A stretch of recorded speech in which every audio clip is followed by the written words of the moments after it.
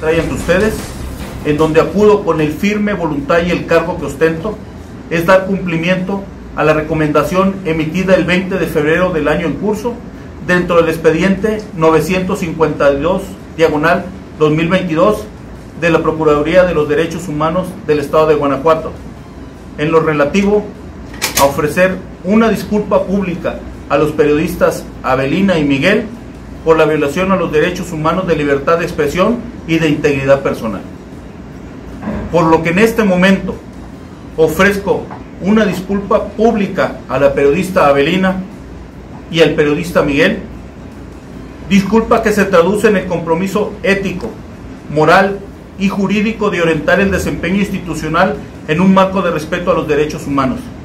con el objetivo de evitar por todos los medios que sucesos como el ocurrido se repitan. Quiero concluir refrendando el compromiso de la Secretaría de Seguridad Ciudadana con el derecho a la libertad de expresión, por lo que seguiremos fortaleciéndonos en esta materia al generar acciones en reconocimiento, pero sobre todo al respeto a los derechos humanos. Muchísimas gracias.